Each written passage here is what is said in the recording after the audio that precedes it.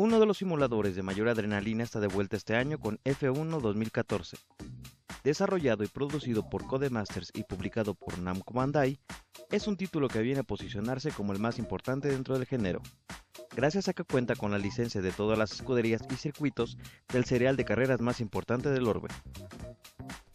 F1 2014 es el quinto título desarrollado por Codemasters, que este año viene con nuevos circuitos y por supuesto, la llegada de los nuevos motores V6 Turbo, motor eléctrico que es utilizado durante esta temporada en los monoplazas de F1. Es difícil el hablar de un juego que podrá considerarse de nicho, debido a que son pocos aquellos que se acercan a simuladores deportivos de este tipo,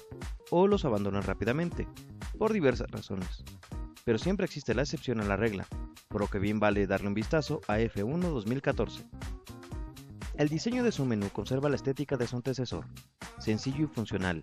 Grandes premios, trayectoria, multijugador, zona de pruebas y mi F1 son los apartados que dicho menú contiene para ir desde la competencia 1 a 1, compitiendo en los zapatos de Fernando Alonso, o customizar nuestro propio piloto, abriéndonos paso entre algunas de las grandes leyendas del volante.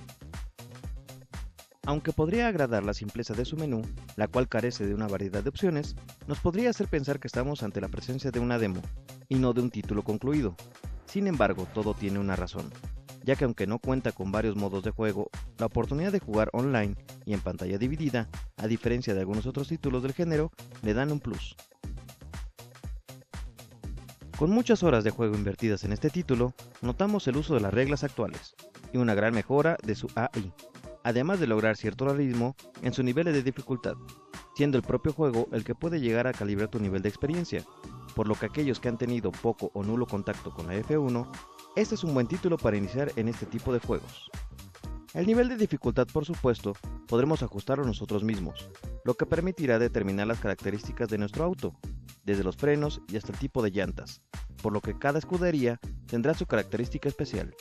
detalle que podrás apreciar mejor en el sonido de cada uno de los motores. Sin embargo, y a pesar de las posibilidades que brinda este juego, la customización no es una prioridad de F1 2014. Desde la creación de tu personaje las posibilidades son pobres, y solo podrás escoger un casco ya predefinido. Quizás si tuvieras la oportunidad de personalizarlo sería genial. En la parte mecánica sucede lo mismo, ya que no podrás meter mucha mano al motor, lo que quizás para aquellos mucho más técnicos pueda llegar a molestarles. Por supuesto, el conducir un Ferrari no será lo mismo que un McLaren, por lo que conducir cada una de estas máquinas requerirá un nivel de destreza diverso, desde el agarre de neumáticos hasta la potencia en pista, por lo que detalles tan simples como el contar con una buena estrategia en pits podrá ayudarte a ganar posiciones y conquistar el podio.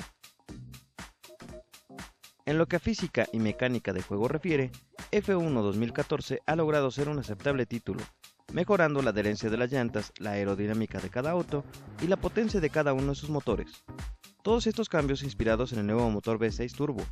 la cual ha obligado a poner más atención en detalles como rebases en curvas cerradas, frenado con diversos climas, sin olvidar la potencia y aceleración a la salida de pits y de curvas, algo que podrás notar en autos como Ferrari. Lo anterior se une por supuesto a los modos de conducción de cada auto, haciendo de la experiencia de juego una buena simulación de manejo, aunque no excelente, en lo que refiere a los modos de juego, podrás acceder a cada premio de forma independiente, o recorrer los 19 circuitos incluidos dentro del calendario de F1 y hasta jugar un modo express. Un detalle que considero bueno es la posibilidad de manejar la duración de la carrera, desde las rondas de clasificación hasta la duración total de la competencia. Aunado a esto, elementos como el clima juegan un papel clave dentro de cada competencia, ya que te obligará a hacer paradas forzosas en pits para un cambio de llantas, es de resaltar este punto, ya que el realismo en cuanto a climas como el lluvioso puede ayudarte o perjudicarte de acuerdo a tu nivel de conducción.